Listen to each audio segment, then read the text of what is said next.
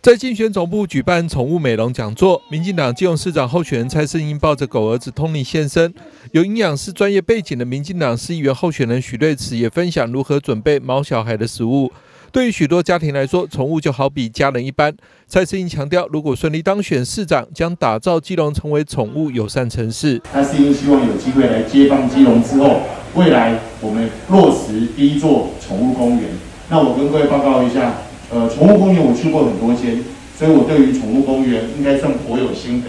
我们希望把过去很多宠物公园做得好的优点学起来，比较不好的地方的缺点我们可以改进。我们希望可以让它变成台湾最好的宠物公园。一二三，大爱心，大爱心。趁着国庆年假，蔡思颖也邀请知名的小青蛙剧团到基隆演出，让市民享受难得的亲子时光。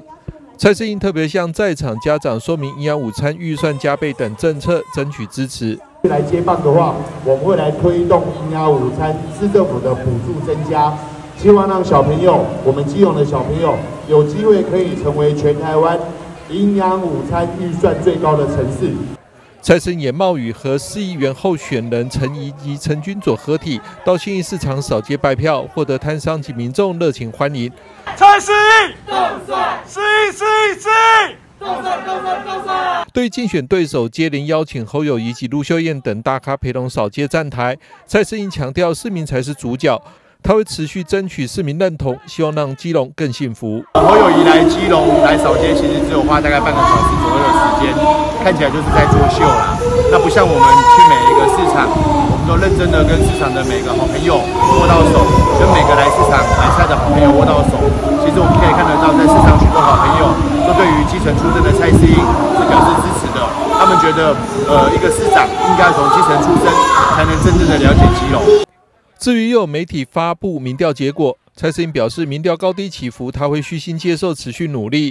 而从民调数据发现，大部分市民还没有真正做出决定，他会继续争取为表态市民的认同。呃，最近有许多民调都表示出来，其实很多的市民还没有做最后的决定。那世英在这个部分继续来努力，但是这些民调，呃，对适英来讲，有些适英是领先，有些适英可能打平。无论怎么样，我们都虚心接受，继续努力。最重要的一一二六才是重点，我们争取表态的市民来支持蔡思英，一个从基层打拼下来的，真正的为基隆打拼的基隆市长。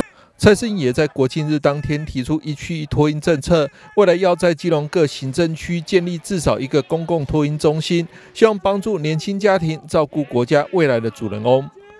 记者张启腾，基隆报道。